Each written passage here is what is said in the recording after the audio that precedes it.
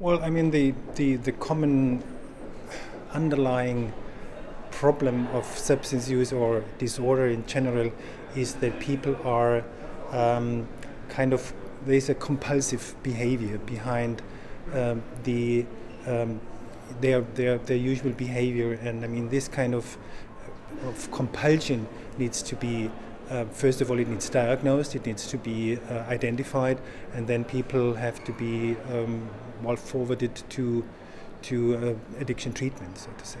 And how do you see this area developing? Is addiction on the rise, or is there more awareness of the risks? Well, I mean, it's probably going in both ways. I mean, you see quite uh, large numbers or large prevalence figures among among adolescents, of course, but it may also have to do. We are looking more closer. You know, it's not that um, people can do it uh, undetected. Uh, are monitoring systems nowadays. There are instruments in order to uh, for early detection of those problems, and so these are kind of mutually, you know, raising the numbers. And can you give us an idea of some of the different areas around addiction that have been discussed so far at the conference? Well, we started yesterday actually uh, with a large session on, on gambling, and today we touched again on, on gambling and also gaming. But there are also other issues like, uh, um, for instance, the question whether there is a, a, yoga addiction, which sounds funny in the first uh, at the first look, but there may be people who are suffering from it, and, and that's the, the, the most important issue that if people suffer from it, they have to be helped. And you've mentioned that this conference has been well attended, especially after the height of the pandemic.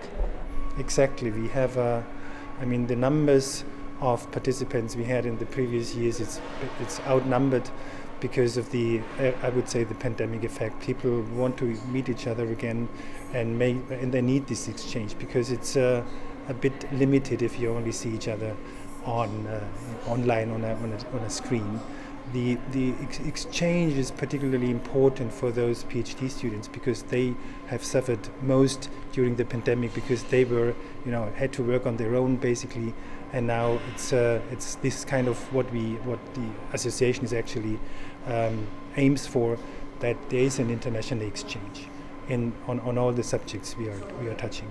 Well, first of all, it's a big honor for us. So it's after just uh, being the center center of excellence responsible gaming established one year ago, we can already uh, host a conference of or an international conference and and having attendees from almost 20 countries and over 60 persons coming us. It's it's it's really a great success, and we are very proud of that. But it's especially good because it's a good possibility for the students of the university especially also PhD students and the colleagues uh, to meet other experts from all over the world and change their experiences, change the results, and also plan uh, further collaborations in the future for the future.